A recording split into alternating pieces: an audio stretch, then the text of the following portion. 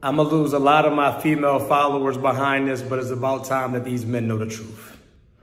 Fellas, if you're dealing with a chick, right, and it seems as if she's making you jump through all these obstacles and you haven't got as much as a handshake or a kiss on the cheek, you have been put into the category of a man that she's gonna play with. Now listen to me, fellas, you got two categories. You got the men that they lay with, and the men they gonna play with. Once again, you got the men that they wanna lay with and the men that they wanna play with. The ones that they wanna play with, she's cool with you spending the money. She even gonna let your sucker ass take her out on dates. You can take her shopping, but you probably won't get to know where she lives. She probably doesn't respond to your text fast. And if she do give you the coochie, is the mo most lackluster, mediocre coochie later, dead fish coochie you have ever experienced. For the ones that she wants to lay with immediately, She's to freak his brains out. She's to try to snatch his soul. He don't even got to take her nowhere extravagant. He went to he took her to Pizza Hut and got the pussy. You took her to Paris and got a pat on your back. There is a major difference,